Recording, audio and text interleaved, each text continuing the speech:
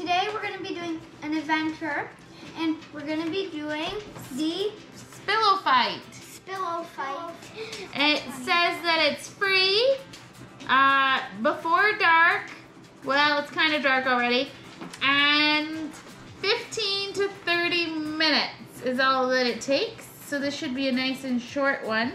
A pillow fight with a twist. Mark boundaries with objects from around the house to make the, an arena that all players must stay inside of during the game. One or two parents fill a cup or bowl or pitcher with water all the way to the very top. Holding the cup securely, the parents must try to keep the cup more than half full for 20 seconds while the kids try to knock the water out of the cups, causing, oh, using only pillows. So, I think we'll probably do this outside, Yeah. not in the house. Oh, so they mentioned an arena. And what do we got in the backyards, girls? Skating rink! Thanks for joining us. Make sure to subscribe to the Donks family and make sure to subscribe to my channel, The Mini Donk. Let's get started. Yeah! Round one? Round one. Roger has the cups in his hand. We gotta get out of here. Oh, he's not doing well. He's failing here. Oh, oh, oh. Oh, oh no. No, oh, he, and he got taken down.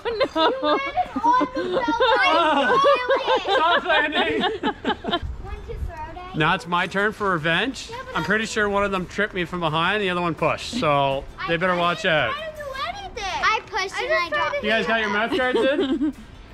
You better not hit me on the floor. I will throw this cup at you. Them's fighting words. oh no, Beto! Well, you're already dropping it. oh, Giselle got away.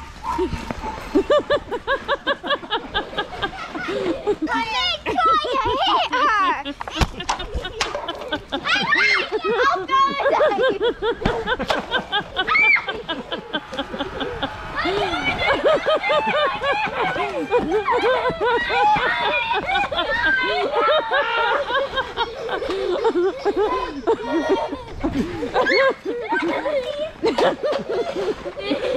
I said no use of love really.